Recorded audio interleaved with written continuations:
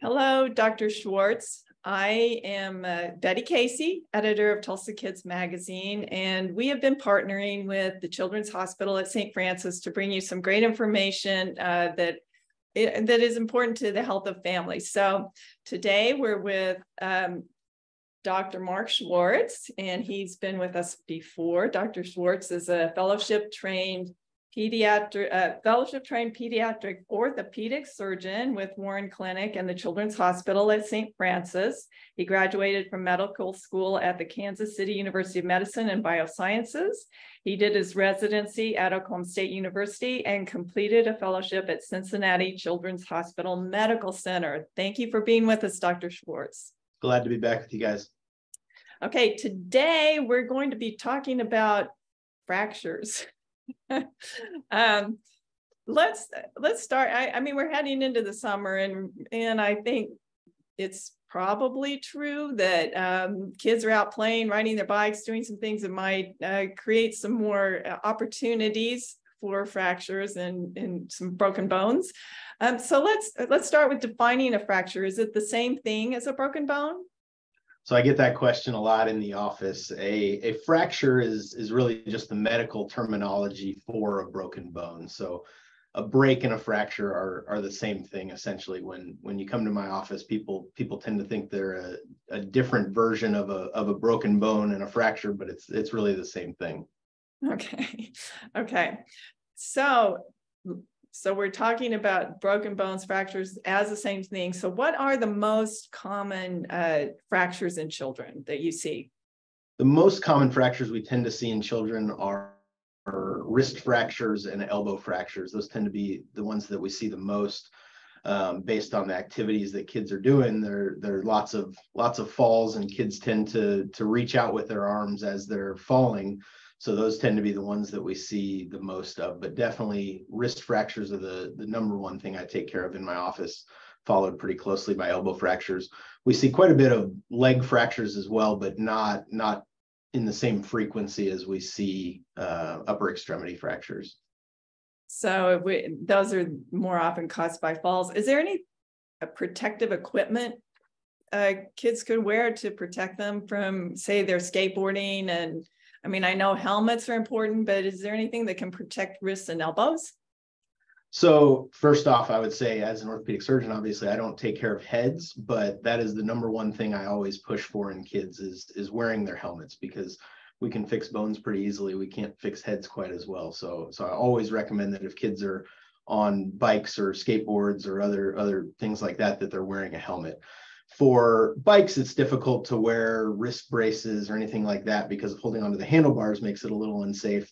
But anytime kids are skating or skateboarding, I think it would be a good idea for them to be wearing wrist braces. That'll definitely help prevent some of those some of those fractures when they're when they're falling and reaching out to catch themselves.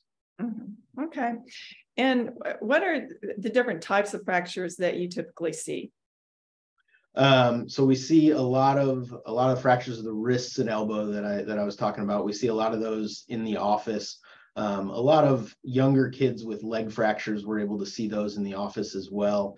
Um, once kids start getting older, a lot of the bigger fractures, talking about like femur fractures and a lot of the tibia fractures, those tend to be ones that come into the hospital that, that tend to need a little bit more acute care in the hospital as opposed to being able to be taken care of in the office.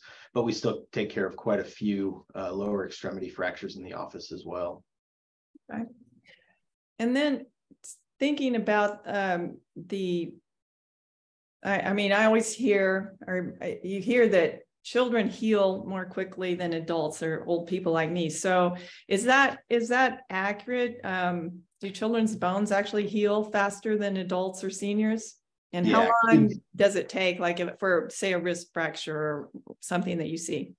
So kids definitely will heal faster than than adults do. There's a there's a layer of tissue that surrounds the bones um, that tends to be a lot thicker in children, so they have a lot better blood flow to the bones, and they tend to heal their fractures a lot faster than than adults do. Um, and um, they typically will heal in somewhere between four and six weeks is the majority of fractures the younger a kid is, the faster it will heal. Some of the wrist fractures I take care of in kids are, are healed within three to four weeks. Um, start getting into the older teenagers, you're looking at closer to the six week mark for, for healing a lot of the fractures. Okay, that's faster than I would think. Um, and what are the treatments for these various types of fractures? Um, and then how do you determine what will need a cast? What will require surgery or maybe or there's fractures that don't need casts? So there's there's some fractures that sometimes we, we don't put into a cast. We can use different types of braces for certain fractures. Um, the majority of fractures I take care of do get put into casts. We we really try and put kids into waterproof casts here at our office. Um, we find it to be great for the kids because they're able to participate in other activities and stuff, maybe go into their swim classes and things like that that they wouldn't be able to do otherwise. Um, and then it allows the a lot lot more helpful for the families because it allows them to to shower and bathe the kids and not not end up with these really stinky casts at the end of it um, and not having to worry about wrapping the wrapping the arms or legs in a bag and things like that. So it's really good uh, to be able to get them into these waterproof casts. So we treat a lot of fractures in those um, some fractures do end up needing surgery um, and we we try and we try and treat fractures as much as we can in a cast and, and try and avoid surgery as much as we can. But some surgeries are necessary for these kids, depending on the, the fracture type and the location of the fracture. Um, and sometimes depending on the, the displacement or the angulation of the fracture necessitates them having a surgery for it. Some fractures tend to be more unstable than others and just can't be held appropriately inside of a cast. Uh, and those are the ones that we tend to lean towards towards surgery. It's always something that we have a discussion with the family about and kind of discuss the the options of of mm-hmm. operative versus non-operative treatments to to see if it's something that that we can avoid surgery and in some cases we can and, and in some cases we just need to do surgery for it. Mm-hmm. Okay. So I have heard stories this did not happen to me but if you if you're a parent uh sometimes you you might not take your child to the doctor and then you find out later oh my child had a a fracture and I didn't know it. So let's say your child falls at the playground or is injured during a sporting event. What kinds of things should a parent know about whether it's serious enough to seek care or should what what should parents be aware of and what should they do? So I think the obvious ones are are kids that that fall and have an obvious deformity of their arm or their leg. Obviously, those are the ones that that need to come in and be seen more acutely because they likely need need to be reset and put back into place um, in the emergency department or potentially in the operating room if necessary. So those ones are the easy ones for parents to be able to decide to bring the kids in. The the non-displaced fractures tend to be a little bit more difficult if kids are starting to have quite a bit of swelling or they're starting to show bruising or if they're they're crying for more than than 20 30 minutes or something after the injury likely it's something that should get looked into further.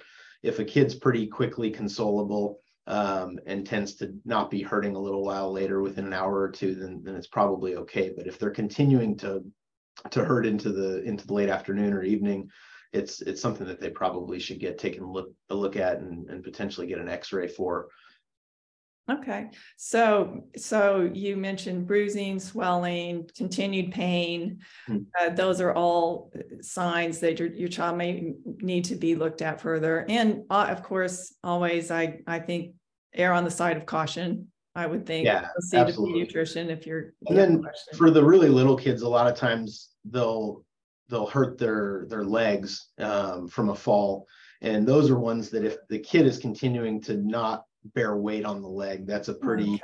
pretty clear sign that that yeah. something more is going on because kids are pretty quick to get back to to walking and doing the activities they want to do. So if they're if they're going more than a couple hours and refusing to bear weight on the leg after an injury, there's probably a, a good chance that there's there's some sort of fracture within the leg. Okay. Okay. Good advice. Okay. And then what are your recommendations for parents who may be dealing with a potential fracture? What should they do when seeking care for their child? Um, and do, does everything need to be seen immediately? Can something wait until the next morning? Um, are there things that can wait? And then, or, or are there things that you mentioned the sort of the odd you know, a child that has a something going on with an arm that is not looking normal, I would think that would be an urgent care. But how do you know if you should wait or um, get seek immediate care? How do you know? So I think the the kids who are who have the deformity, those are the ones that definitely need more urgent care um, in terms of going to uh, an urgent care or to the emergency department. Um, if the if the child doesn't seem to be hurting too bad, but then wakes up the next morning and is continuing to be complaining about the pain, I think that's a, a, a reasonable one to potentially wait till the next day to be seen. Um, but if the parents have any concern, I think that that getting the kid in and getting them seen and getting an X-ray is is always a a good option um, to avoid any sort of delayed care for something that may need something sooner rather than later. Mm-hmm. Yeah, and I I think um, you know we don't want to be left with that parent guilt that we didn't, didn't yeah. see a doctor. but uh, thank you so much. This was great information, especially as we head into the summer and kids become more active and outside more. Um, I want to, uh, I, I, appreciate you and uh, our partnership with St. Francis. If you be sure to read this uh, interview on, on in the Tulsa Kids magazine, we have PJ's Corner, and then you can also watch the interview or read the entire interview on uh, on our website at tulsakids.com. But we really appreciate your your time this morning, Dr. Schwartz, and we appreciate St. Francis and, and their partnership in this. Thank you the one thing I would that I would like to add is that okay. is that kids. The one thing we see a lot of in kids that people ask about a lot is whether the fracture involves the growth plate. So that's an important difference between adults and kids. Is that a lot of pediatric fractures do involve the growth plate, and taking care of the growth plate is is something that is taken care of sometimes very differently than than an adult fracture is taken care of. It's really important that we get those fractures taken care of soon and get them taken care of appropriately so that the kids continue to grow normally. The majority of growth plate fractures continue to grow normally and don't don't have long-term problems, but it's important that we that we see those. And that's one of the advantages I think to seeing a pediatric orthopedic surgeon is that we have extra additional training specifically towards treating growth plate fractures.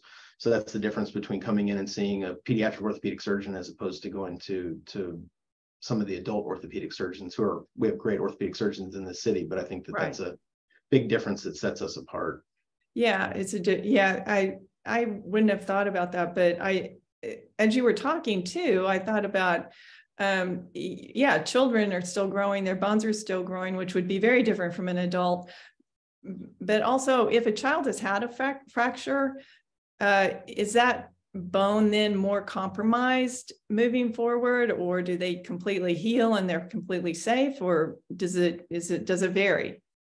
So it depends on the fracture. There's some fractures that tend to be more prone to to refracturing.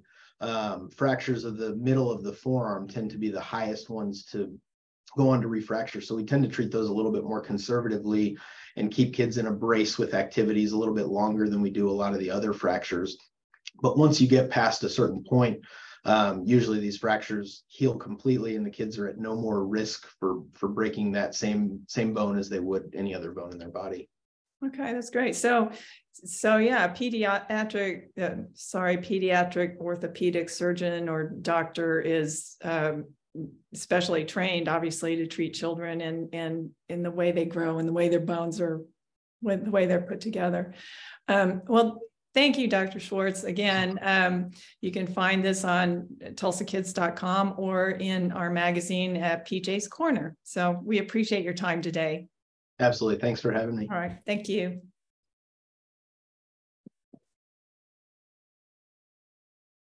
No, that's okay.